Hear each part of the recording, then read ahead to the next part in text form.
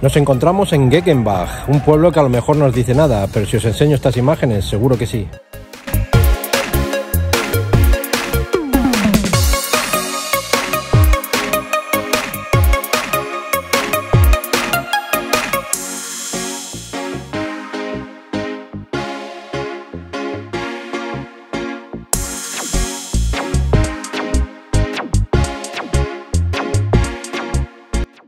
Bueno, pues este es el pueblo que inspiró a Tim Burton para hacer su película Charlie y la fábrica de chocolate.